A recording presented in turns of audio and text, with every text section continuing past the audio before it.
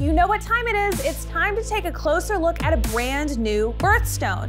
Let me roll my giant imaginary wheel of birthstones to see what gem we're going to explore this episode.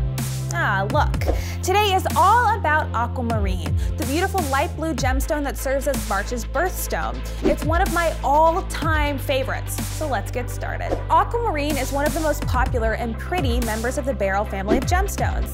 Another popular beryl is this green variety, emerald, but we'll talk more about May's birthstone some other time. Aquamarine is beryl's blue variety. Its name comes from two Latin roots, aqua and mare, and means water of the sea the name pretty clearly coming from the blue color. There's a wide range of blues that can be found in aquamarine because that blue is dependent on iron. Color is dependent on iron in a lot of gemstones. Where iron is found within beryl's crystal structure will determine how deep the coloring is. That said, most aquamarines today have undergone a heat treatment to improve those blue colors. One reason aquamarine jewelry is so coveted and so much fun to wear is because it's relatively easy for a lapidary to work with compared to many other gemstones. That means the truly talented and creative can work on really delightful cuts and shapes. Collectors like aquamarine as much as lapidaries do, especially rare cat's eye and star varieties. Some of the finest aquamarine in the world comes from Brazil. Cue the bossa nova. There's one famous Brazilian beryl that weighed over 100 pounds when it was first cut as a crystal, the Dom Pedro aquamarine.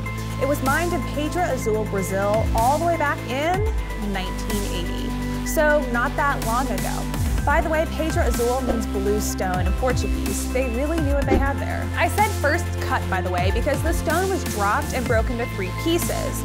Some of it went off to a destiny as jewelry, while one large piece remained. It was christened Dom Pedro after the first and last emperor of Brazil.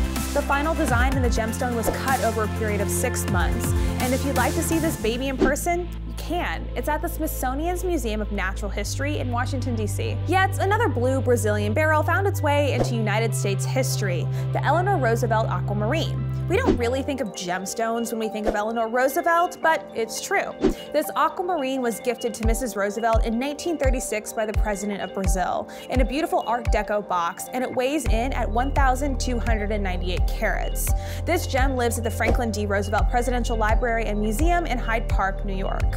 One final piece of aquamarine jewelry we love is fit for a queen, literally Queen Elizabeth II, better known as Meghan Markle's grandmother-in-law.